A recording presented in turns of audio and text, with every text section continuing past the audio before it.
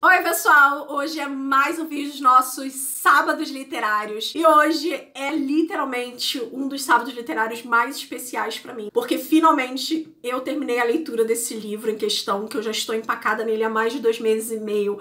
Acho que foi a leitura mais demorada de toda a minha vida, Porém, foi por dois fatores. Eu acho que o fator principal, que vocês já estão vendo no título desse vídeo, afinal, o título do livro está em espanhol, então sim, o primeiro fator é o idioma. Quem acompanha aqui o canal sabe que eu tô naquela série de hashtags dica de espanhol, trazendo vários vídeos para vocês. Então eu fiz um desafio pessoal para mim mesma de começar a trazer leituras de livros pro meu cotidiano em espanhol e deixar um pouquinho é, os livros que eu tenho na minha estante, que já tem, são traduzidos em sua maioria pro português fez, e aí eu me desafiei pegando ninguém menos do que Isabel Allende, uma autora chilena extremamente conceituada. Esse livro em questão foi um best-seller, La Isla Barro del Mar, então, assim, foi um livro que eu não sei se eu fiz corretamente em ter pegado, porque olha o tamanho dessa grossura de livro. Eu devia ter começado mais humildemente, né? Mas a pessoa que não é nem um pouco humilde já começa o quê? Lá do alto, pegando livros completamente complexos, com narrativas complexas, como é esse livro em questão de Isabel Allende. Esse livro, o segundo fator também que me fez empacar um pouquinho na leitura é que ela trabalha quatro personagens. Vamos ter quatro personagens dentro dessa história, dentro dessa narrativa, que vai ser trazido pela autora. Um ponto que eu achei muito interessante pelo fato de eu ser historiadora e de estar estudando história é que ela mistura acontecimentos, fatos históricos verídicos com, obviamente, o romance, com o lúdico, com a questão ficcional que ela vai trazer dentro da obra, apresentando personagens, obviamente, que são fictícios para essa história. O livro ele se passa na ilha de San Domingue. Para quem não conhece, a ilha é muito famosa, principalmente porque é, a ilha em si era, ela era uma grande produtora de açúcar nesse período e era uma colônia francesa, era uma colônia da França no momento em que essa autora está narrando os acontecimentos. O Haiti ainda era uma colônia francesa que foi colonizada pelos franceses e que foi uma das primeiras. Agora vem um momento um pouco histórico que ela não aborda tanto porque ela não chega nesse determinado é, ponto ponto né, revolucionário que houve dentro do Haiti, da Revolução do Haiti, mas o Haiti foi uma das primeiras ilhas a realmente se rebelar contra os seus colonizadores e conseguir a sua independência, justamente tendo como um espelho a Revolução Francesa que ocorreu na França, que, que trazia esse pensamento iluminista de liberdade, de igualdade. Então, eles buscando essa independência, eles vão ir contra aos seus colonizadores, os franceses, e os expulsam da ilha em questão, conseguindo aí ser uma das primeiras ilhas a conseguir esse feito. A ilha de São Domingos, como a própria autora narra, tem bastante negros, escravos, e aí o personagem central, o Toulouse, eu acho que é assim que o nome dele se pronuncia, ele é um francês que cujo destino muda completamente quando ele sai da França e vem até a ilha de São Domingos a pedido do pai dele que está muito mal de saúde, que quer que ele administre o que ele construiu na ilha. E aí a partir desse momento do falecimento do pai dele, ele começa a fazer administração e deixa Paris, deixa a França para trás e começa a construir uma nova vida na ilha de São Domingo. E aí é onde tudo vai ser desenvolvido, a história inteira vai se desenvolvendo e a gente conhece os outros personagens dessa história. A princípio, a personagem que a gente que a autora apresenta pro, pro leitor é a Zarid, tanto que eu achei que ia ser só trabalhado é, esse personagem, né, o Toulouse e a Zarid, mas aí você percebe a introdução de uma outra personagem que é a Violet, que é uma cortesã, eu, esse é o termo mais utilizado do que prostituta na época.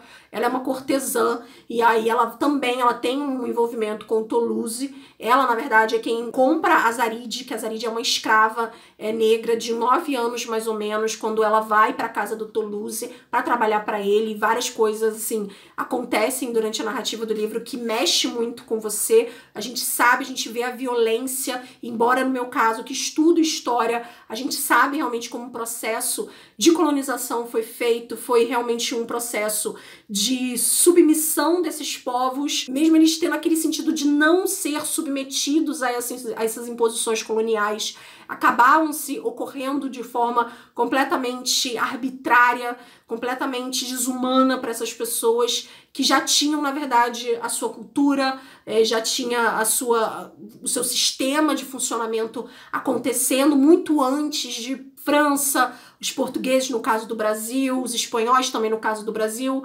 virem obviamente, para esses países da América Latina. Obviamente que, na, que no Haiti, em São Domingos, não foi diferente. A gente vê, a autora apresenta isso, apresenta é, esse motim é, dos negros contra é, os franceses, contra as imposições coloniais e a, a repressão dos franceses em cima desses negros haitianos que estavam buscando realmente se libertar desse processo. A autora ela trabalha essa questão, mas é sempre importante a gente saber separar o ficcional do histórico, do real, do acontecimento, do que realmente ocorreu e saber trabalhar essa questão, porque quando o romance apresenta alguns contextos históricos, é complicado, você precisa saber separar o real, como eu falei para vocês, do ficcional e não achar que tudo que a autora está trazendo é realmente fato verídico, histórico, real realmente, então a gente tem que ter esse discernimento, mas a, a, Isabel em si, ela tem uma escrita muito cativante, muito envolvente, você se adentra, você se simpatiza com os personagens, embora você também desperte em você um sentimento de raiva pelas ações de outros personagens, principalmente pelo que acontece com a Zarid, que eu não posso dar spoiler, eu não vou dizer o que acontece basicamente, mas a gente sabe, quem pelo menos estuda um pouquinho dessa questão da escravidão, do processo de colonização, sabe, obviamente, que as mulheres negras eram realmente passavam por situações é, realmente deploráveis para uma mulher passar, ainda mais para uma criança, no caso da Zarid. Então, assim, é algo que mexe com você. A autora desperta esse sentimento, sabe? De empatia pela Zarid, por tudo que vai acontecendo na vida dela, até mesmo pela Violet, que é uma personagem também muito presente, muito marcante nessa narrativa, por ela ser uma cortesã, ter começado né, é, nessa vida com 12 anos de idade, através de um ofício que a mãe dela ensinou. Então, assim, você vê um ofício sendo passado de pessoa, de mãe para filha, e isso sendo é, perpetuado, sendo repassado nesse processo, e é a forma de sobrevivência dela. Não julgo obviamente, porque a autora te apresenta os fatos que a mantém nessa vida e que a fazem se manter nessa vida, até porque ela mesma ela tendo uma pele mais clara, não sendo porque a mãe dela, né, obviamente, a mãe dela teve ali uma, uma miscigenação, uma mistura, ela nasce com uma pele um pouco mais, mais clara do que as outras, e nisso ela já acha que tem um determinado privilégio pelo fato dela ser um, um pouco mais clara, mas aí ao mesmo tempo você vê que, querendo ou não, ela também é escrava dessa vida, das situações, de tudo que vai acontecendo na vida dela. Então a autora ela sabe amarrar muito bem, sabe? Não é pontas soltas. Isso que eu gostei, porque às vezes você tem autores que trabalham muitos personagens numa narrativa e eles não conseguem desenvolver esses mesmos personagens que estão interligados no caso desse livro, eles são interligados entre eles, mas eles têm os seus próprios, seus próprios caminhos que a autora vai trabalhando muito bem, sem deixar realmente pontas soltas. Isso que eu achei o mais incrível da escrita da Isabel Allende, e foi o que realmente me cativou, porque eu não tinha lido, não conhecia essa autora em questão, e agora depois desse livro eu com certeza vou ler outros livros, outras obras dela em questão, em espanhol. Sim, a pessoa que é brasileira não desiste nunca. Se eu conseguir ler e terminar esse livro, eu com certeza vou terminar os outros livros que eu me propor a ler em espanhol. Isso aí fica um, uma dica para você também de bota e dá a cara tapa. Não pense que porque você tá no básico do espanhol você não vai conseguir, por mais que você demore. Eu sei que você consegue, eu consegui. Então é só dar a cara tapa, se jogar. O que você não souber, fica com um dicionáriozinho ali do lado, porque ajuda bastante na hora. E é isso, gente, se joga.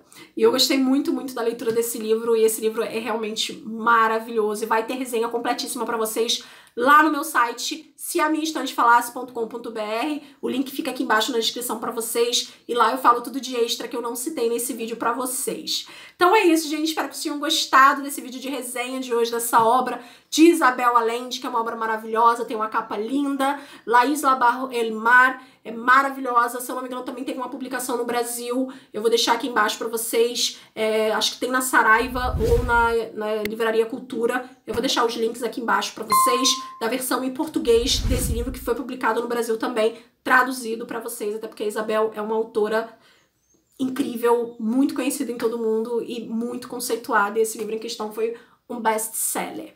Então é isso, gente. Beijos e até o próximo vídeo de sábado literário aqui do canal. Tchau!